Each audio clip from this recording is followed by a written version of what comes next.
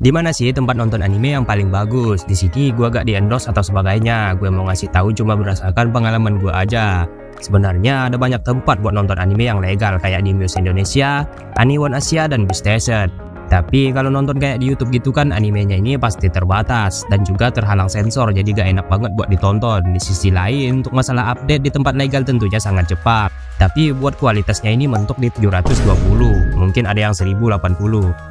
Berbeda dengan web bajakan yang anime apa aja itu pasti ada, mereka gak butuh yang namanya lisensi. Ya karena bajakan. Untuk webnya sendiri itu cukup banyak ya, bukan berarti gue ngasut kalian buat nonton bajakan ya, bukan coy. Kalian usahakan nonton di tempat legal kalau ada anime yang kalian cari. Kalau gak ada ya mau bagaimana lagi coy, terpaksa nonton bajakan ya kan. Oke webnya sendiri ada nonton anime ID, Kusonime, dan Otaku Desu. Yang lainnya juga masih banyak coy, kayak Asami Hada, Anoboy, dan Hunter Sekai. Cuma ya banyak iklan judi online coy. Untuk kelengkapan sendiri, web paling lengkap itu animenya ada di Kusonime. Di sana juga gak ada iklan yang mengganggu. Ketika webnya ini dibuka itu bersih banget coy. Mereka cuma ngandelin dari short link sama donasi dari para penggemar doang. Kusonime ini web terbaik coy buat kalian tim batch yang nyari anime WD atau resolusi tinggi.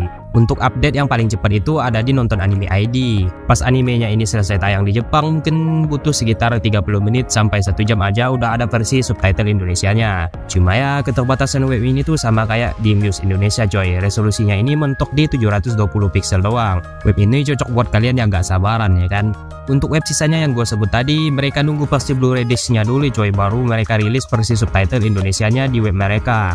Biasanya itu butuh beberapa jam atau bahkan ada yang hitungan hari baru mereka rilis. Bukan berarti mereka malas atau apa, ya emang gitu coy kalau mau nonton gratisan dengan kualitas tinggi kudu sabar dulu.